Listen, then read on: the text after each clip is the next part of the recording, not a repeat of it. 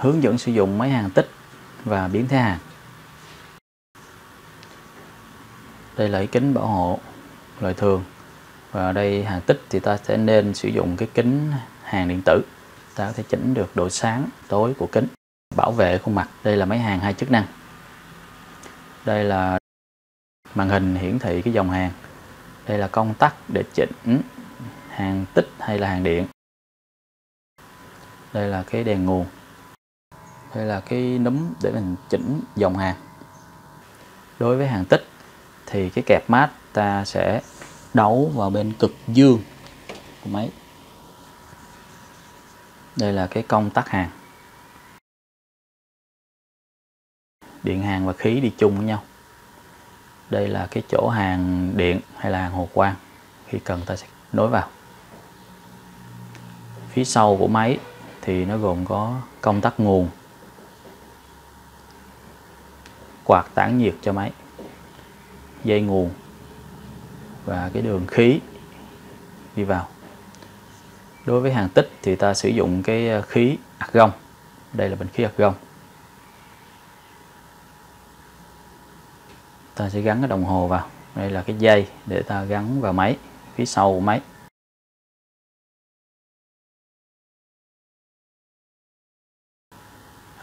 Khi gắn xong thì ta sẽ mở khí ở trên bình.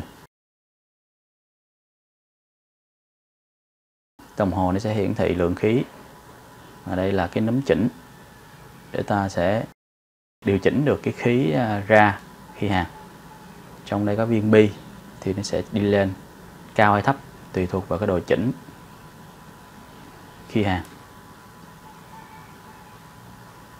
Ta để ý tại những cái điểm nối để coi cái khí nó có bị xì không, để à, nhằm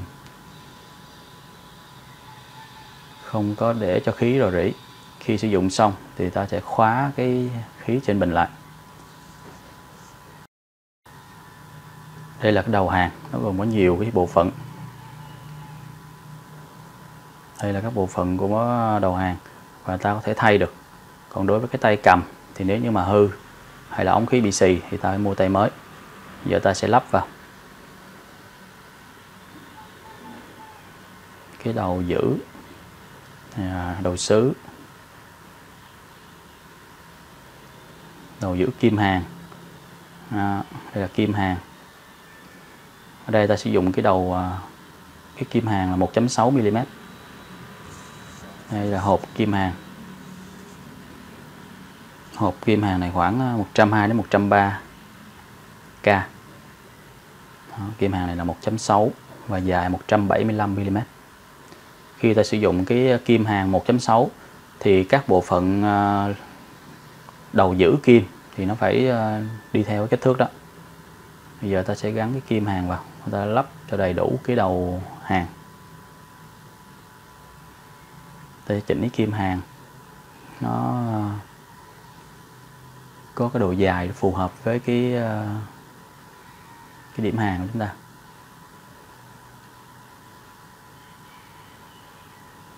Đây là một số cái ờ, đường hàng.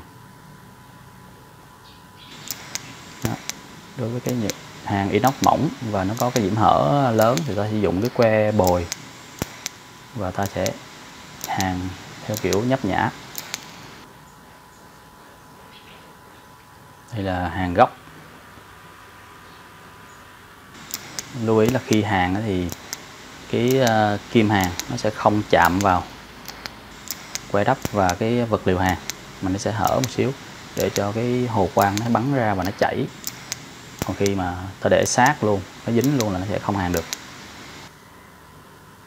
Đây là hàng gốc. Ừ, đây là một số hình ảnh. Đây là hàng chấm điểm.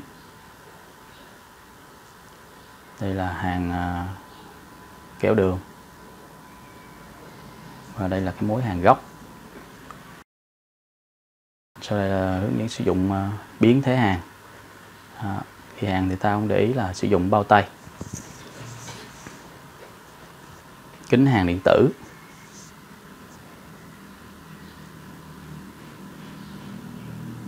Đó, để ta không có cần phải à, nhắm mắt mở mắt và, và bảo vệ khuôn mặt. Để khởi động máy thì ta bật cái CB lên bên cái à, cái góc tường và kéo cái công tắc gạt ở trên máy. Đưa cái công tắc gạt qua mở vị trí mở để tôi là mở máy. Đây là cái màn hình à, hiển thị dòng hàng màn hình cơ.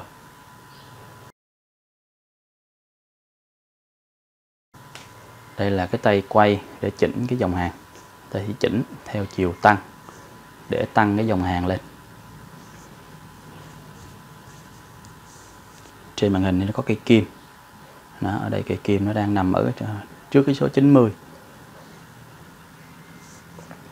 đây là cái uh, kẹp mát và đây là cái đầu để mình uh, gắn que hàng.